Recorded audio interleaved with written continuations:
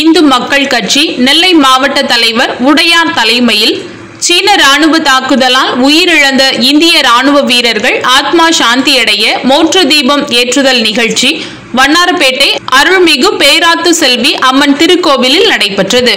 நிகழ்ச்சியில் தென்மண்டல செயலாளர் ராஜபாண்டியன் தலைமை தாங்கினார். மாவட்ட தலைவர் உடையார் செயல் தலைவர் முருகானந்தம் மாவட்ட பொதுச் செயலாளர் சீனிவாசன் மாவட்ட அமைப்பாளர் கண்ணன் பாளை சட்டமன்ற தொகுதி தலைவர் திருமலை நம்பி பாளை சட்டமன்ற தொகுதி பொறுப்பாளர் கணேஷ் பாண்டியன் ஆகியோர் முன்னிலை வகித்தனர். மாநில துணைத் தலைவர் சக்தி பாண்டியன் தென்மண்டல மகளிரணி தலைவி காந்திமதி மாவட்ட தலைவி லட்சுமி அம்மாள் ஆகியோர் சிறப்பு அழைப்பாளர்களாக கலந்து கொண்டனர்.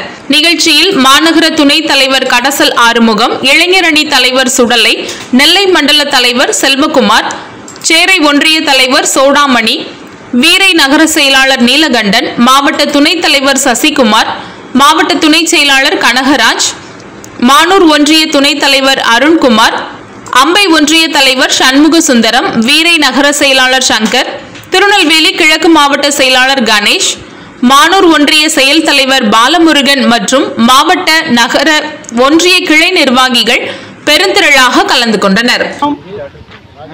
இந்து மக்கள் கட்சி சார்பாக எங்களுடைய ராணுவ வீரர்களை இருபது பேரை கொண்ட சீனா அரசை கண்டித்து எங்களுடைய தென் மாவட்ட செயலாளர் ராஜபாண்டியன் அவர்கள் தலைமையில் இன்றைக்கு இந்த பேரூராட்சி அம்மன் கோயிலிலே ஜோதி ஏற்றி வழிபட்டு எங்களுடைய ராணுவ வீரர்களுக்கு அஞ்சலி செலுத்தும் விதமாக இந்து மக்கள் கட்சி தலைமையில் எங்களுடைய தமிழ் திரு அர்ஜுன் சம்பத் அவர்கள் தலைமையிலே தமிழகம் முழுவதும் நடந்து கொண்டிருக்கின்றது. இதை நாங்கள் ஓராண்டுக்கு முன்பே எங்களுடைய தலைவர் கோவையில் சென்னையெல்லாம் பேட்டி கொடுத்தாங்க. சீனா வந்து இந்த மாதிரி செய்வாங்க அப்படின்னு சொல்லி.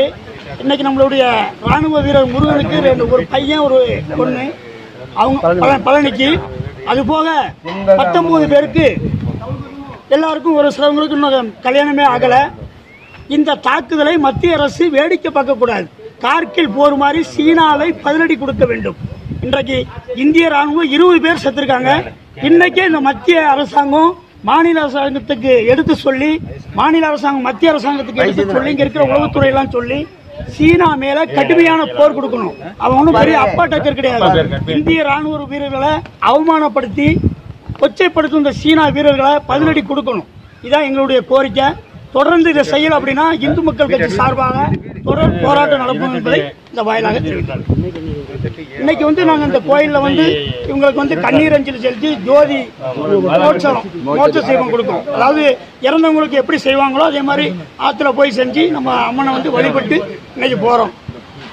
இந்த பூ போட்டு ஆத்துல போய் புஷ்பாஞ்சலி செஞ்சுட்டு போறோம். இதுக்கு மத்திய அரசாங்கம் உடனடியாக நடவடிக்கை எடுக்கணும். நடவடிக்கை எடுக்கல அப்படின்னா இந்து மக்கள் கட்சி சார்பாக தமிழகம் முழுவதும் மிகப்பெரிய போராட்டத்தை சந்திக்க வேண்டியிருக்கும்.